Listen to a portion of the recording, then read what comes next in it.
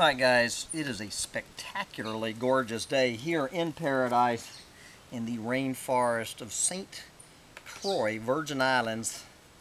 We have somehow stumbled into Wednesday morning, January 13, 2016. So uh, Wednesday morning is the day I bring you my weekly climate change meltdown roundup rant. And of course, lucky today that Wednesday morning follows Tuesday's final, hallelujah, final State of the Union address by that pawn of the fossil fuel industry, Barack Obama. And guys, you know, I was trying just to work up the lather like I do every year calling that lying sack of shit planet eater. Now, but uh, I just don't. I just don't have it in me. Just don't have it in me. Maybe, maybe by tomorrow I will get the energy to give you the the uh, hambone little tail State of the Union address. But uh, for now, I'm just going to bring you my climate change meltdown roundup rant. So I just have just one little story. How is the mainstream media? This is Reuters News. Looking at uh, 10 million interpretations of that bullshit last night. Barack Obama says we must change the way nation manages its fossil fuel resources. President Barack Obama on Tuesday said he would seek changes in the way U.S. oil and coal resources are managed, prompting a flood of reaction from environmental groups pushing him to do more to limit fossil fuel production, yes, and producers of fossil fuels anxious about regulatory changes. So what did, uh, did Obama have to say last night? I am going to push to change the way we manage our oil and coal resources so that they better reflect the cost they impose on taxpayers and our planet.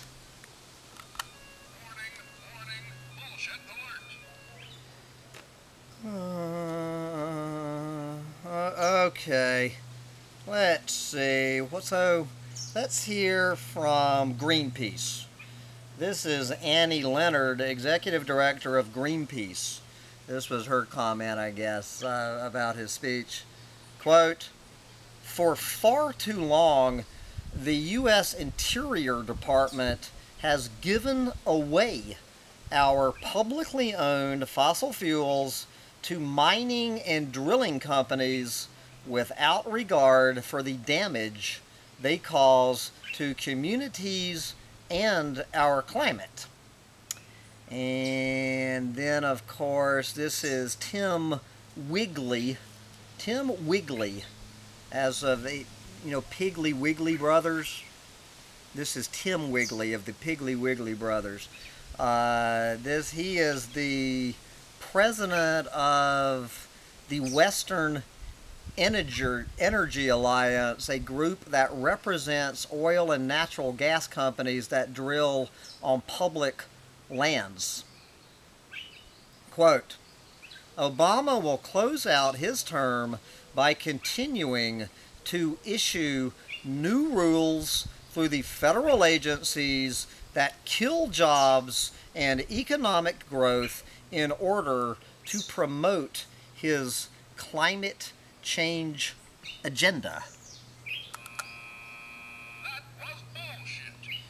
Anyway, oh shit, before I uh, forget and before I lose it on here, I want to, uh, I wanted to, this is, is is HBO mainstream media anymore? This is this this group that I really like called Vice, uh, teaming up with HBO, which may or may not mean they are owned by uh, Jerry Hall's husband to be, Mr. Rupert Murdoch. But anyway, I, I, I, think Vice are good guys. So Vice is uh, episode one of its third season on HBO.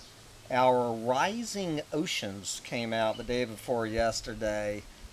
Um, our oceans are rising with human use of hydrocarbons skyrocketing. Waters around the globe are getting hotter and now this warm subsurface water is washing into Antarctica's, Antarctica's massive western glaciers, causing the glaciers to retreat and break off. Antarctica holds 90% of the world's ice and 70% of its fresh water. So if even a small fraction of the ice sheet in Antarctica melts, the resulting sea level rise will completely remap the world as we know it. And it is already happening. In the last decade alone, some of the most significant glaciers in Antarctica have tripled their melt rate. And uh, so this is Vice founder Shane Smith getting on the story. And uh, so I just want to play you, hopefully it, it, I haven't lost it already while I've been over here yakking. I'm going to play you, this is a 43 minute. I highly advise this. Uh, this. This YouTube came out day before yesterday. I'll put the link on it. Encourage you to watch it. This is right dead center in the middle of it. This is Shane interviewing one of these climatologists. I'm sorry, I can't remember his name. They're flying from Tierra del Fuego down to Antarctica, looking out the window of the airplane and having this conversation. He's got kind of a thick accent, so they put uh, subtitles to help you along. Anyway, let's just listen to about a minute of this and then I'll get back to my mainstream Yahoo News roundup. Okay, Shane. Why don't you tell us what I don't think Obama mentioned in his Save the Planet speech last night? How do we stop Antarctica from melting, or at least the West Antarctica ice shelf? I think uh, reducing our carbon emission is wishful thinking at this point. So stopping emissions isn't even enough because we're going too fast. We're going too fast right. This part of West Antarctica is going to fall apart no matter what. How much sea level rise is contained in the ice? So Pine Island, Thwaites and its neighbors contain about one meter global sea level rise. If that whole sector goes down to sea, uh, it will entrain the retreat of the rest of West Antarctica. Uh, we're talking about three to five meters sea level rise. So one meter would be a, a global catastrophic event, but three meters would be would re remap the world as we know it. Yes, absolutely. This is a holy shit moment. That's not holy shit. Oops. He said, so what, Shiv, you're hearing this, Shane uh, was saying, so, this is a holy shit moment. And the guy's uh, response was that this is not a holy shit moment. This is basically the end of the world as we know it. And, uh, you know, I'm just gonna, I'm not gonna, I'm, I'm just gonna keep on going with the camera pointed here cause hoping it's probably too bad a glare. Uh, th this next story from Associated Press, which I thought was the best climate change story of the lot today, you can decide for yourself uh, whether this is even a climate change story. starvation suspected in massive die-off of Alaska seabirds. And I think there's some YouTubes about uh, these thousands of dead seabirds washing up uh, on the beach in Alaska. Seabird biologist David Irons drove recently to the Prince William Sound community of Whittier to check on a friend's boat and spotted white blobs along the tide line of the rocky Alaska beach.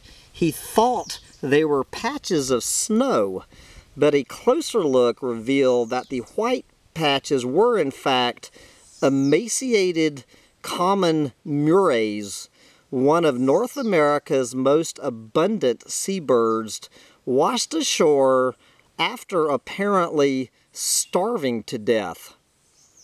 Quote, this uh, seabird biologist, David Irons, quote, it was pretty horrifying.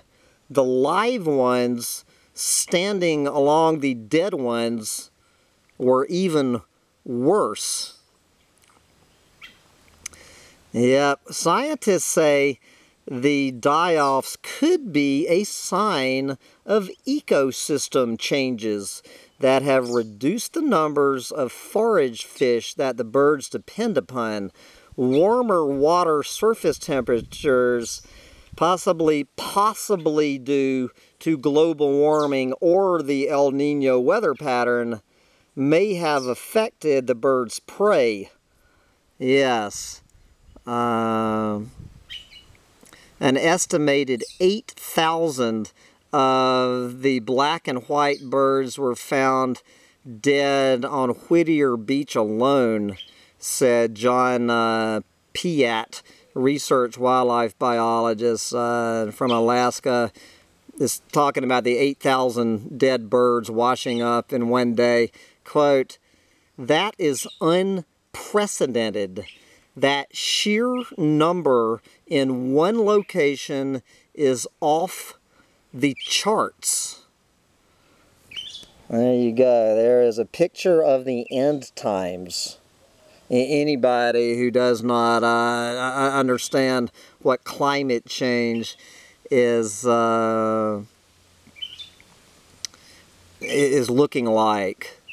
And then they start looking at, you know, talking about how these fish that these seabirds are 100% dependent on live in a narrow band of cold water.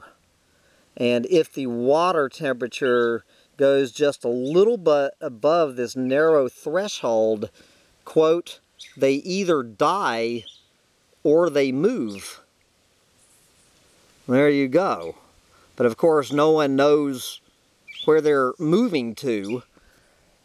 How about that picture, guys? Anyone uh, wondering what climate change looks like. This is a long and involved story. Uh, let's see. In the die, if the die-offs is tied to low numbers of forage fish brought on by a warming ocean, the rest of 2016 does not bode well for murres Piatt said. Do you think so? The phenomenon known as the Pacific blob, the Pacific, uh, Pacific blob, there's a scientific term, a mass of warm water in the North Pacific has cooled recently, but is still around. and oceanographers predict for 2016 an extreme El Nino. Quote, from this bird hugger Piatt, What is that going to do on top of the warming effects we've had in the last six months to a year? I'm asking because I don't know. There you go, and uh, that's the you know that's the bottom line from these climatologists and these biologists. Nobody knows Oh, Leonardo DiCaprio uh, was claiming that that nobody knows what what this shit means, guys. Uh, my personal belief is, uh, you know, I, am kind of, I'm more in the uh, the Guy McPherson camp that, uh, I, I, know that. I, I know 8,000 dead birds washing up on one beach. I know what that means. It means 8,000 dead birds washing up on a beach. But anyway, maybe all of these uh, climate forecasters that uh, Alex Jones and all those guys are always yelling about They're going to start getting some new brains as we see a powerful replacement in the works for climate modeling computer. You know, these climate change deniers always talking about how these computers are completely full of shit. One of the most powerful computers in the world dedicated to climate change, weather, and other earth science research will be replaced in 2017 by a much faster machine. Uh, the new supercomputer to be named Cheyenne will be at least two and a half times more powerful than the Yellowstone supercomputer currently crunching all these numbers. Capable of 5.3 quadrillion calculations per second, Cheyenne will be some 100,000 times faster than a typical home computer. And these speeds the speed provides unprecedented detail in climate change predictions, including regional modeling of climate effects. So there you go. So we have a new super computer. Look at this goddamn thing, guys. A new super computer to uh, warn us how uh, we're heading into a burning lake of fire. So uh, all the climate deniers can talk about that moron supercomputer. So uh, what does climate change mean for the global middle class?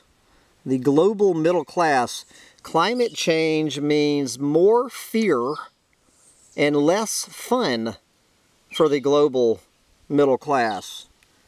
There you go. The erosion of wealth among the world's middle class due to climate change is a threat to economic and social stability which could spur its 1 billion members to push for more action on global warming. Swiss bank UBS Group AG said. Bullshit detected. Take precautions. Okay. In a study of middle class consumption in 215 cities around the world, these banksters found spending priorities were noticeably different in cities most, most at risk from climate change. In these top risk cities, including Los Angeles, Tokyo, and Shanghai, the middle class spent between, or drumroll please, between 0.6 and 0.8% more on housing compared to the national average and less on luxuries, entertainment, and durable goods. Oh yeah, there's some strong numbers. So the report said middle class households are already changing their lifestyles in the cities most exposed to hotter temperatures, rising sea levels, and extreme weather such as storms and floods. And of course, the number one way they are, uh, as it points out in the article, the number one way that the middle class is changing their lifestyles in cities most exposed to hotter temperatures. Well, take a damn wild guess. They're cranking up the air conditioning. The cranking up the air conditioning, which of course, as the, this brilliant story in the mainstream media points out, uh, well, if they're cranking up the air conditioning, they're putting more and more stress on all of these power plants, sending more CO2 emissions into the air. So we need more air conditioning. Anyway, summing up the story, quote, more fear, less fun is how we might sum it up. Mm-hmm. Okay. And the continuing story from sub-Saharan Africa, we have El Nino and drought take a toll on Zimbabwe's cattle. Yes, they uh, this is Zimbabwe and all over the place there. What's going on this week in sub-Saharan Africa? Worsening drought in Zimbabwe has dried up water holes, crops, and pastures, leaving farmers unable to feed their animals and unable to sell them for much either so many desperate farmers now have animals on the market. A cow that used to sell for $500 now fetches just $150 or in some places as little as 50 bucks. As climate change strengthens, drought is becoming more frequent and severe in southern Africa and that combined with this year's El Nino is taking a heavy toll on rural lives and economies. Yes, it is. And of course, you know what this means is more food aid. Send them, send in the corn. Send in the corn. But, uh, I was I, I'm, I'm, I'm trying not to hit the bullshit detector button on this last story to, ra to wrap up this rant. U.S. coal production falls to 30-year low as solar powers up. Here is a uh, here is a photograph of U.S. coal production falling to a 30-year low. There you go. According to the mainstream media, and I hope they're right, one of the dirtiest energy sources saw coal production drop to a 30-year low in the United States last year, according to the U.S. Energy Information Administration. And the news came as Arch Coal the nation's second largest coal producer, filed for bankruptcy Monday in an effort to erase four and a half billion dollars in debt. Hallelujah. Coal production hit a peak of 1.2 billion tons in 2008 and has declined to 900 million tons in 2015, which was 10% lower than 2014. There you go. So we never let it be said that we don't have some good news in the end times. But anyway, I need to uh, head down me and my new little lazy dog, Sancho Panza. Says, wrap it up, Don Quixote. We're going to head down to the beach and uh, find some shade. Your old middle class Doomsday Prophet is going to head down and find some shade in the end times. Bye, guys.